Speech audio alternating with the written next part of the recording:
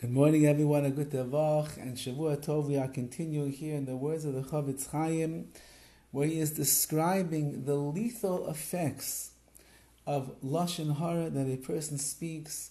How it not only is the sin itself, but it destroys the mouth. It destroys the power of kedusha that we have in our Torah and our mitzvahs, and the tefillah and the prayers that are uttered from our lips those lips become damaged, they become rusty, they become pagam, they have blemishes in them, and then the words of Torah that we say, they don't reach kisei kavod. The words of tefillah, of prayer that we utter from our lips, they don't make it up into the heavens, and therefore we're only hurting ourselves as we continue to speak lashon hara. Uh, if you dig deeper into this idea, we will find Besides the fact that Lashon Hara is a terrible sin. As we mentioned previously, a person continues to expand the kilkul, the destruction in all of the worlds, spiritual worlds, and there's spiritual light in all the spiritual worlds that we can't see with our own eyes, but that light is what brings the luminescence down to this world, the Shechina to this world, the Kedusha to this world into our lives. When a person speaks Lashon Hara, it's like they dim the lights in the spiritual worlds, and then we are living in darkness down here. Because of the regular activities of speaking Lashon Hara that many people have.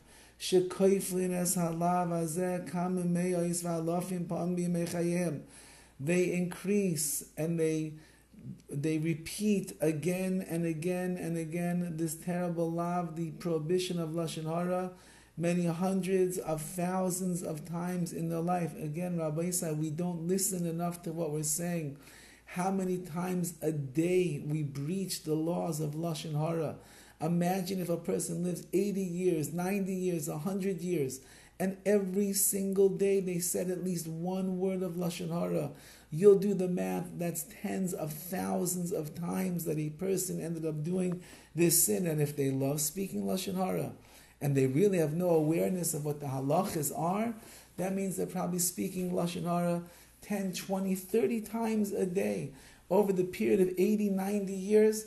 That's hundreds of thousands of words of lashon hara that a person has spoken. Rachmana litzlan, ki afilu avon katan, shiachpil harbe pa'amim. Even a little tiny sin that a person repeats uh, many times. Hu nasel ka'avis ha'gola. At the end of the day, that one little sin, which is repeated again and again, it turns into the ropes of an agola of a wagon the big ropes that are being used by the wagon driver to hold on to the horses to make sure the wagon's going in the right place, they have to be very thick and very strong that they shouldn't snap. A person that does the sin of Lashon Hara again and again, he ends up creating, doubling over, that his sins become thick as those ropes. Like Yeshaya the prophet screamed, Woe to those that are pulling the ropes of sin, like the thickness of the ropes of a wagon. They have sinned. They did it so many times that it became massive. The mashal, the parable is. If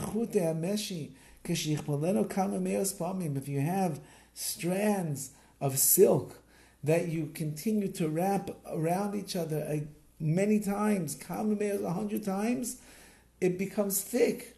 All the more so, this sin of lashon hara, it is such a stringent sin in and of itself.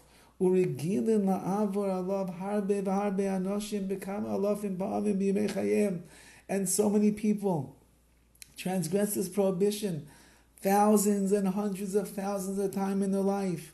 They never take it upon themselves to guard themselves from speaking lashon hara. Not a person continues to go through life and he just sins in this lashon hara. Certainly, The kilkul, the destruction that is taking place in the higher worlds is unimaginable. You cannot count. You cannot fathom how great the destruction truly is.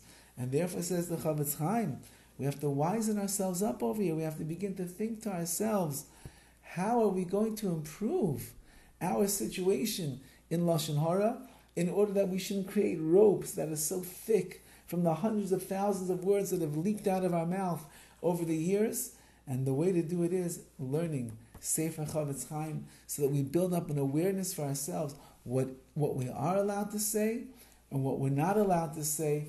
Protect our lips. We have to guard our lips from saying the wrong things so that we should be people that don't speak Lashon Hara, bad Lashon. We speak Lashon Taiv. We speak good words that will find favor in the eyes of Hashem. Have a wonderful day and a wonderful week.